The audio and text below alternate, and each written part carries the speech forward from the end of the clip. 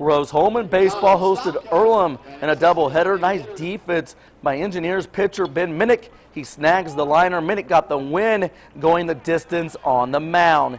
Jamie Winley turns on this pitch and finds all kinds of space in right center. Two Engineers hustle home to score. Rose takes game one 4 to 2, but the Engineers drop the nightcap. That is it for sports. News 10. We'll be right back.